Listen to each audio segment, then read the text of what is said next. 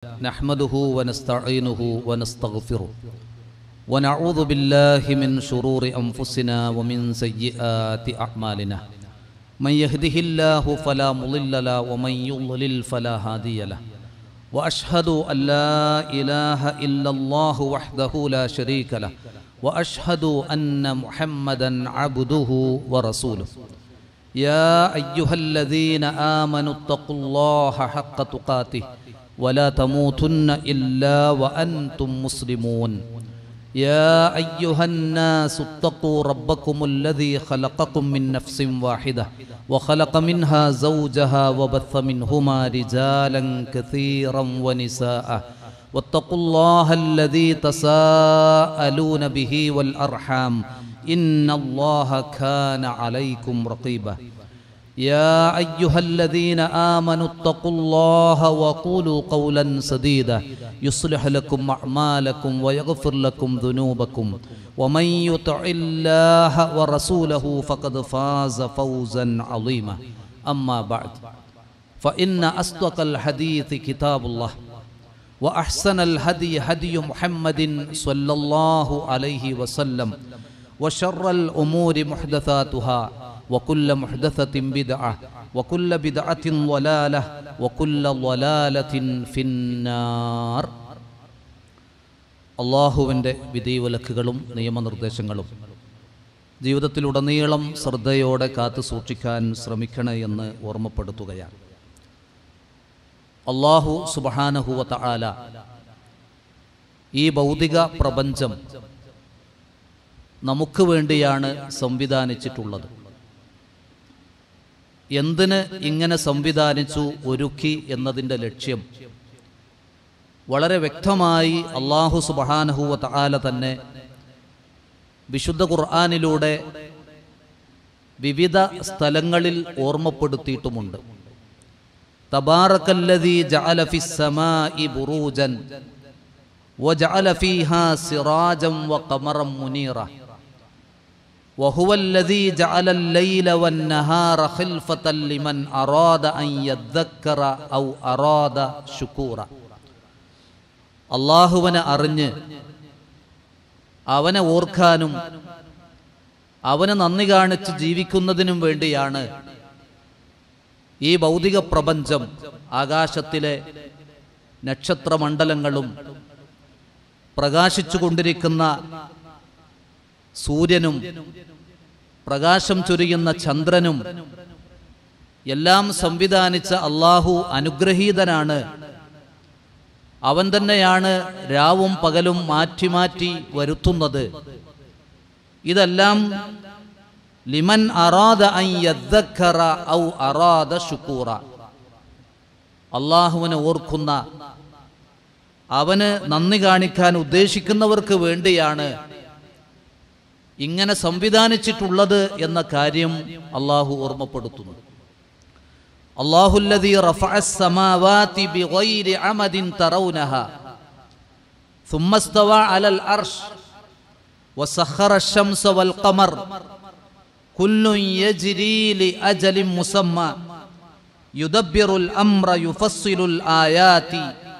ലഅല്ലക്കും ബിലിഖാഇ റബ്ബിക്കും തൂഖിനൂൻ. നിങ്ങൾക്ക് കാണാൻ കഴിയാത്ത തൂണുകളില്ലാത്ത വിധം ആകാശത്തെ ഉയർത്തിയവൻ സൂര്യനെയും ചന്ദ്രനെയും നമുക്കായി ഒരുക്കി വച്ചവൻ. എല്ലാം അതിന്റെ അവധിയിലേക്ക് സഞ്ചരിച്ചു കൊണ്ടിരിക്കുന്നു. അവൻ തന്നെയാണ് കാര്യങ്ങളെ നിയന്ത്രിക്കുന്നത് ദൃഷ്ടാന്തങ്ങളെ വിശദീകരിക്കുന്നത്. അറശിനും മീതയാണ് അവൻ നിലകൊള്ളുന്നത് അവൻ കഴിഞ്ഞുകൂടുന്നത്. ഇതെല്ലാം അറിയിച്ച ശേഷം അള്ളാഹു അറിയിക്കുന്നത്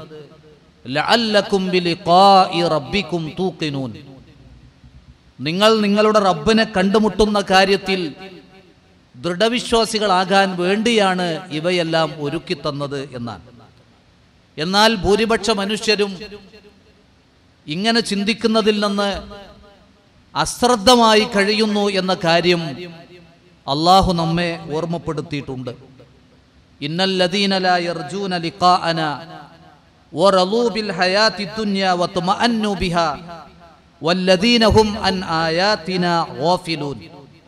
നമ്മെ കണ്ടുമുട്ടുന്ന കാര്യം പ്രതീക്ഷിക്കാത്ത ഈ ഐഹിക ജീവിതത്തെക്കുറിച്ച് മാത്രം തൃപ്തിപ്പെട്ട് അതിൽ സമാധാനമടഞ്ഞ് കഴിയുന്നവർ അവർ നമ്മുടെ ദൃഷ്ടാന്തങ്ങളെക്കുറിച്ച് അശ്രദ്ധയിലാണ് എന്നാണ് അള്ളാഹു ഓർമ്മപ്പെടുത്തിയിട്ടുള്ളത്. അബ്ദുല്ലാഹിബിൻ അബ്ബാസ് റളിയല്ലാഹു പറഞ്ഞു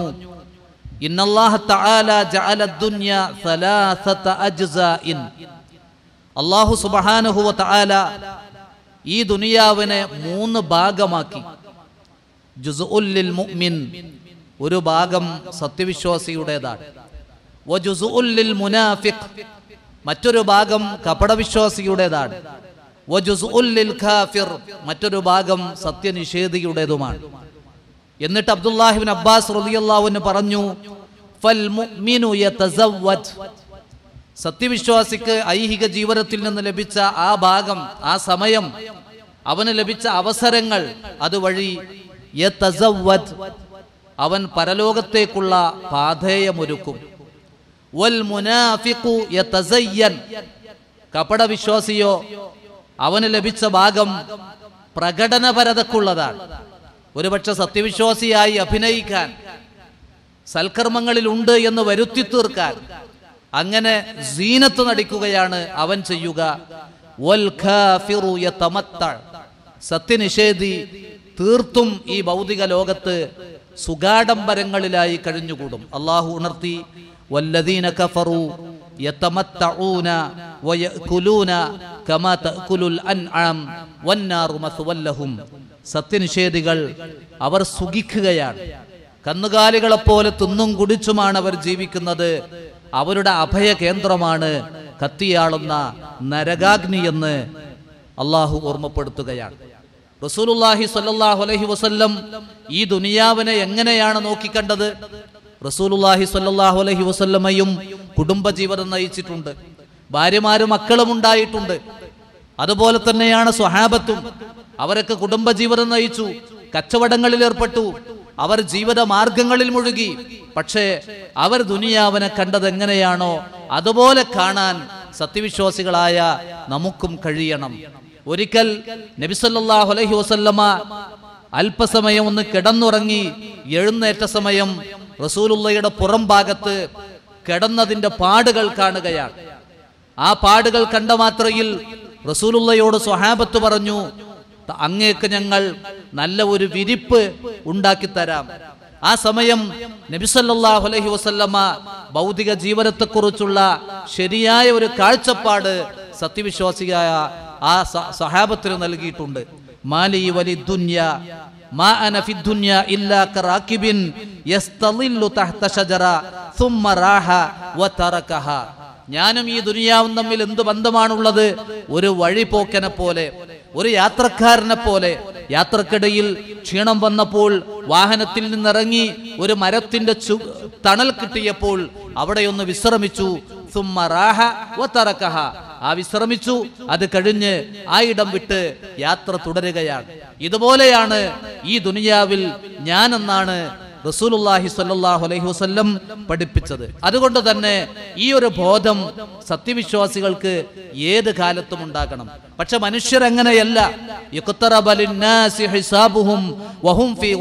മുഅ്രിളൂൻ ഇതാ മനുഷ്യർക്ക് അള്ളാഹുവിന്റെ വിചാരണ അടുത്തെത്തി നിൽക്കുകയാണ്. ഈ ആയത്തിൽ എന്നതിനെ മുഫസ്സിറുകൾ വിശദീകരിച്ചിട്ടുണ്ട്.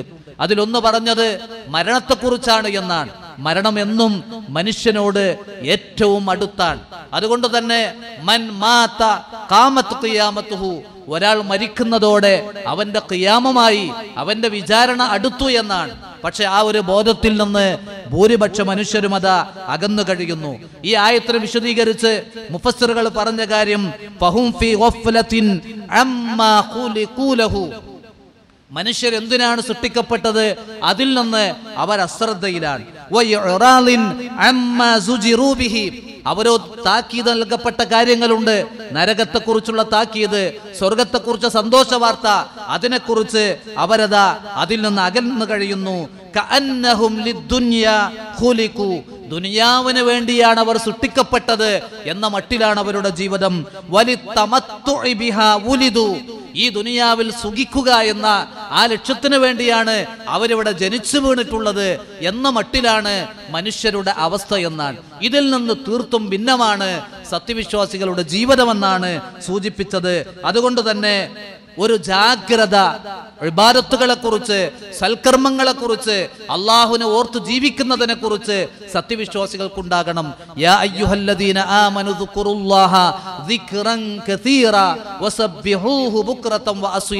സത്യവിശ്വാസികളെ നിങ്ങൾ അള്ളാഹുവിനെ ധാരാളമായി ഓർക്കണം. രാവിലെയും വൈകുന്നേരവും അവനെ പ്രത്യേകമായി പ്രകീർത്തിച്ചു കൊണ്ടിരിക്കണം അതുകൊണ്ട് തന്നെ നമ്മൾ ഓരോരുത്തരും മനസ്സിലാക്കേണ്ടത് ഇബാദത്തുകൾക്കോ സൽക്കർമ്മങ്ങൾക്കോ അള്ളാഹുവിനെ ഓർത്ത് ജീവിക്കുന്നതിനോ പൂട്ടുകളില്ല എന്നതാണ്. അതിന് ലോക്കലൗഡ് ഇല്ല. അതിന് ലോക്ക്ഡൗൺ ഇല്ല. ഇബാദത്തുകൾക്ക് പൂട്ടിട്ടിട്ടില്ല സൽക്കർമ്മങ്ങൾക്ക് പൂട്ടിട്ടിട്ടില്ല അതുകൊണ്ട് തന്നെ ഇബാദത്തുകളിൽ കൂടുതൽ സജീവരാകാൻ പറ്റിയ സമയമാണ് ഈ പരീക്ഷണ കാലമെന്ന് ഓർക്കണം. ഒരുപക്ഷെ എല്ലാ സുന്നത്തുകളും നിർവഹിക്കാൻ എല്ലാ ഇബാദത്തുകളെ കുറിച്ചും പഠിക്കാൻ എല്ലാ ഇബാദത്തുകളും അടക്കത്തോടെ ഒതുക്കത്തോടെ നിർവഹിക്കാനുള്ള അവസരങ്ങളാണ് ഈ പരീക്ഷണ കാലത്ത് നമുക്ക് വന്നു കിട്ടിയിട്ടുള്ളത്. പക്ഷെ ഇബാദത്തുകളിൽ നിന്ന് ആളുകൾ അകലുകയാണോ? അള്ളാഹുവിനെ ഓർത്ത് ജീവിക്കുന്നതിൽ നിന്ന് ആളുകൾ അശ്രദ്ധയിലാണോ എന്നതാണ് നാം ഓർക്കേണ്ടത്. ദുൽഖഅദ എന്ന പവിത്രമായ മാസം നമ്മോട് വിട പറയുകയാണ്. ദുൽഹിജ എന്ന ഏറ്റവും പവിത്രമായ മാസത്തിലേക്കാണ് നാം പ്രവേശിക്കുന്നത്. പക്ഷേ പവിത്ര മാസങ്ങളിലൂടെയാണ് കടന്നു പോകുന്നത് എന്ന് ആരാണ് ചിന്തിക്കുന്നത്? അങ്ങനെ ഒരു ചിന്ത ആളുകൾക്കില്ല. ജുമുഅ ദിവസം മറന്നു പോകുന്ന ആളുകൾ ജുമുഅ ദിവസം സൂറത്തുൽ കഹഫ് പാരായണം ചെയ്യേണ്ട ബാധ്യത നമുക്കുണ്ട്. അക്തിറു അലയ്യ മിനസ്വലാ.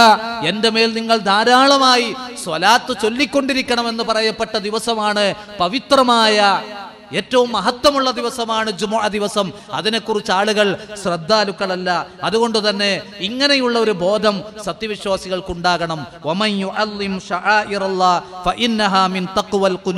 അള്ളാഹു പവിത്രമാക്കിയവയെ അതിനെ മഹത്വപ്പെടുത്തുക എന്നത് ഹൃദയത്തിന്റെ തക്കുവയുടെ ഭാഗമാണ് എന്ന് അല്ലാഹു സുബ്ഹാനഹു വതആല നമ്മെ ഓർമ്മപ്പെടുത്തുകയാണ്. വദ്കുർ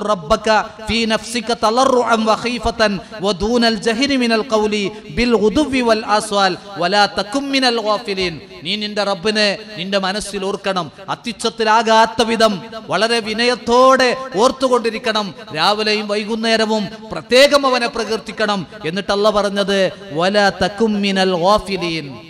അശ്രദ്ധയിൽ കഴിയുന്നവരെ പോലെ താങ്കൾ ആവരുത് അതിൽ ഉൾപ്പെടരുത് എന്നതാണ്. അതുകൊണ്ട് തന്നെ ഈ ഒരു ചിന്ത നമുക്കുണ്ടാവണം. ഈ ആയത്തിന് തൊട്ട് പിന്നെ അള്ളാഹു പറഞ്ഞത്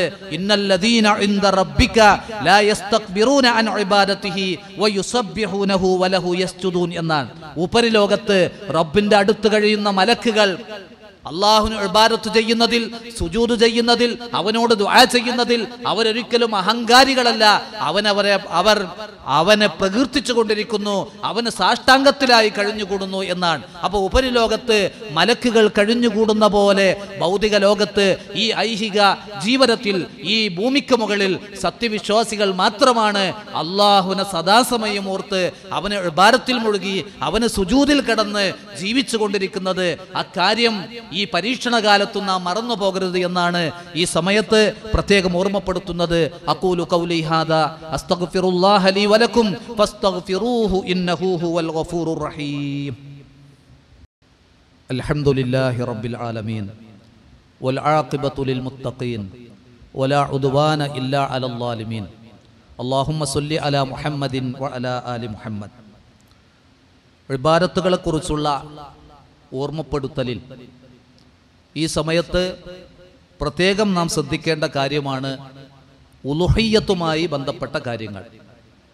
ഇന്ന സ്വലാഥി വനുസുഖി വമഹിയായ വമമാഥി ലില്ലാഹി റബ്ബിൽ ആലമീൻ എന്ന് അള്ളാഹുവിന്റെ മുമ്പിൽ വെച്ച് പറയുന്നവരാണ് നമ്മൾ ഓരോരുത്തരും. എന്റെ നമസ്കാരവും എന്റെ ബലികർമ്മവും എന്റെ ജീവിതവും മരണവും റബ്ബുൽ ആലമീനായ അള്ളാഹുവിന് മാത്രമാണ്. ആ നുസുക്ക് ബലികർമ്മം നിർവഹിക്കാൻ അള്ളാഹു സമ്പത്ത് നൽകിയ ഒരാളെ സംബന്ധിച്ചിടത്തോളം അത് വളരെ പ്രധാനപ്പെട്ട സുന്നത്തുൻ മുഅക്കദത്തായ വാജിബനോട് നിർബന്ധം എന്ന് പറയാവുന്ന നിലയ്ക്ക് നാം മനസ്സിലാക്കേണ്ട ഒരു ഇബാദത്താണ്. അതുകൊണ്ട് തന്നെ ആ ഇബാദത്തിനെ കുറിച്ച് നാം ബോധവാന്മാരാകണം. ഈ സമയത്ത് തന്നെ അതിനുള്ള ഒരുക്കങ്ങൾ. ഒരുപക്ഷെ കോവിഡ് കാലത്ത് കഴിഞ്ഞ കാലങ്ങളെപ്പോലെ എത്രമാത്രം അത് ഭംഗിയായി നിർവഹിക്കാൻ പറ്റും എന്നൊന്നും നമുക്കറിയില്ല. എന്നാലും അതിനെക്കുറിച്ച് അന്വേഷിക്കുകയും സാധ്യമാകുന്ന നിലയ്ക്ക് ഉലോഹിയെ തറുക്കാൻ കഴിവുള്ളവർ സാമ്പത്തിക ശേഷിയുള്ളവർ ഒരു ബലിമൃഗത്തെ തന്നെ അറുക്കാൻ കഴിയാത്തവർക്ക് ഏഴുവരെ ഷെയർ ചെയ്ത് അറുക്കാൻ അള്ളാഹു സൗകര്യം തന്നത് അതിൽ പരമാവധി ആളുകൾ പങ്കാളികളാകണം എന്നതുകൊണ്ടാണല്ലോ അത് ശ്രദ്ധിക്കണം. അതുകൊണ്ട് തന്നെ ദുൽഹിജ മാസപ്പിറവി ദർശിച്ചത് മുതൽ ഉലുഹിയത്ത് അറുക്കാൻ നിയ്യത്ത് ചെയ്തവർ. പിന്നെ നഖം വെട്ടാനോ ശരീരത്തിലെ രോമങ്ങൾ എടുക്കാനോ മുടിയെടുക്കാനോ പാടില്ല. ഏതുവരെ? ബലി അറുക്കുന്നത് വരെ. ഒരു ഹദീയത്തിൽ കാണാം. നബിസല്ലാഹു അലൈഹി വസല്ലം പഠിപ്പിച്ചു ദുൽഹിജ മാസപ്പിറവി നിങ്ങൾ കാണുകയും നിങ്ങളിൽ ഒരാൾ ബലിയറുക്കാൻ ഉദ്ദേശിക്കുകയും ചെയ്താൽ അവൻ ബലി അറുക്കുന്നത് വരെ അവന്റെ നഖവും അവന്റെ ശരീരത്തിലെ രോമങ്ങളും പിടിച്ചു വെക്കട്ടെ എന്നാണ്. അതൊരു പ്രബലമായ സുന്നത്ത് തന്നെയാണ്. ഈ ആദാബുകളും നാം ശ്രദ്ധിക്കണം എന്ന് ഈ സന്ദർഭത്തിൽ ഓർമ്മപ്പെടുത്തുന്നു. ഇബാദത്തുകളെ കുറിച്ച് ബോധവാന്മാരാകുക. മരണം വരെ അള്ളാഹുവിനുള്ള ഇബാദത്തുകൾ നിർവഹിക്കുന്നവരാകാൻ അതിൽ സജീവതയുള്ളവരാകാൻ നാം പരിശ്രമിക്കുക. അള്ളാഹു സുബഹാനഹുവ ആല അവന്റെ മുക്കറബകളിൽ നമ്മെ ഓരോരുത്തരെയും ഉൾപ്പെടുത്തി അനുഗ്രഹിക്കുമാറാവട്ടെ. വന്നുപോയ വീഴ്ചകൾ അള്ളാഹു നമുക്ക് പുറത്തു തരുമാറാവട്ടെ. اللهم اغفر للمؤمنين والمؤمنات والمسلمين والمسلمات الأحياء منهم والأموات. اللهم احينا على الكتاب والسنة وأمتنا مع الإيمان والتوبة. اللهم اشف مرضانا ومرضى المسلمين. اللهم اشف مرضانا وارحم موتانا يا أرحم الراحمين. اللهم ارفع عنا هذا الوباء والبلاء يا أرحم الراحمين. اللهم نجنا من هذا الوباء والبلاء يا أرحم الراحمين. اللهم احفظنا برحمتك من الوباء والبلاء يا أرحم الراحمين. اللهم لا تدع لنا ذنبا إلا غفرته ولا دينا إلا قضيته ولا مريضا إلا شفيته ولا ميتا إلا رحمته ولا بلاء إلا رحم رفعته يا أرحم الراحمين. ربنا تقبل منا دعاءنا وتب علينا إنك أنت التواب الرحيم. اللهم توفنا مسلمين وألحقنا بالصالحين. اللهم صل على محمد وعلى آل محمد. والحمد لله رب العالمين.